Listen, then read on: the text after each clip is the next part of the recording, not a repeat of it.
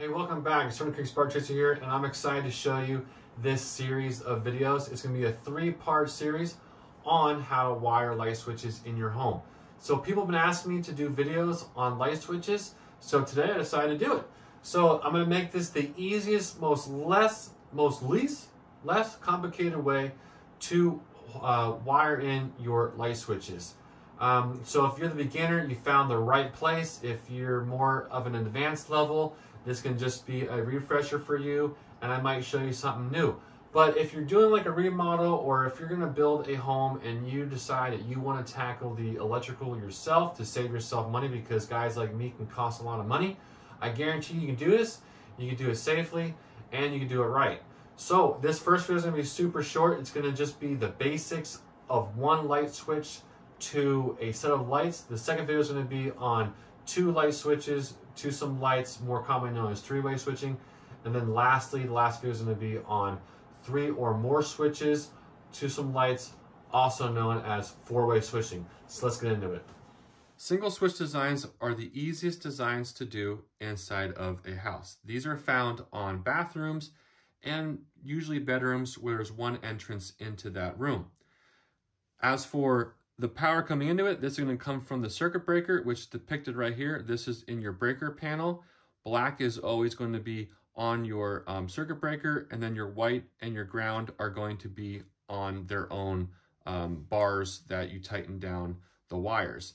Now, as you see below here, this is a yellow piece of Romex. This is depicting a run from your breaker to your switch, which is right here, so that outlet box. And then you have white Romex here, which is showing it going from your light switch up to your light on your ceiling. Now, yellow means that there is a number 12 size wire inside of this Romex. This happens to be a 12-2, so you have a black, which is 1, and then your white, which is 2, 12-2. And then they always have a copper ground inside of that run. Now, there's also white, which is 14-2. It's a smaller gauged wire and this is more commonly found on light circuits. So if you're having this all for just lights, you can just run white Romex throughout the entire circuit. I normally run a yellow through everything, and then I just have my 14.2 go from my outlet to my um, light. But you can do whatever you want in this case. It is cheaper to do 14.2, the whole circuit, if you're just running lights. Now, as for how this thing hooks up, you have your black coming from your circuit breaker and it goes into the bottom of your switch. I depict bottom as where my ground screw is on my switches. Also, this says off and off is typically in the down position. So my blacks and come on my right hand side. It's the first brass screw on the bottom.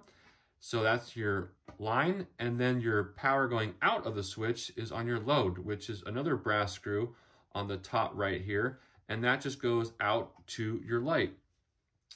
Now everything's commoned up. Your neutrals are commoned up inside your box and your grounds are commoned up inside your box. And then up here at the light, you can see this ground's just kind of hanging there and that's totally fine. This fixture does not have a ground screw on it, so you don't have to hook up a ground screw. Typically, if it's a metal fixture, then it will have a ground screw. Then you just take this ground and hook it up to that ground screw. So let's go ahead and turn on power here on our breaker. And then as you can see, with the easy flick of my switch, the light comes on and off, and that's how you hook up a single switch to a set of lights.